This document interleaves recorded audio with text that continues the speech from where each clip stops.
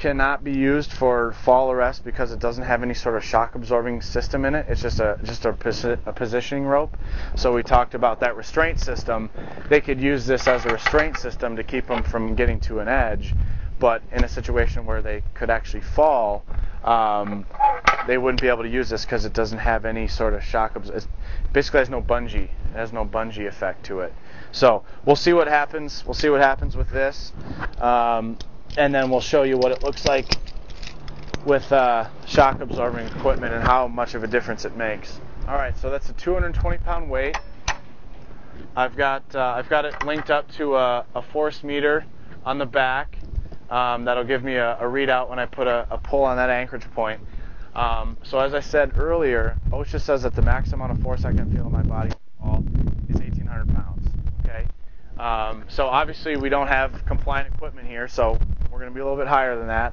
So let's see what uh, let's see what happens if someone were to accidentally grab just a rope or, or something and, and clip themselves off to it. Here we go. One, two, three. 4,458 pounds of force on the body. Oh, um, without any sort of shock absorbing equipment, that's a really heavy, hard impact on the body. Your spine and your body would be all kinds of, all kinds of screwed up. Here we go. One, two, three. 640 pounds of force this time. So you notice on the way down this time it wasn't nearly as hard, uh, nearly nearly as uh, as uh, painful of an impact.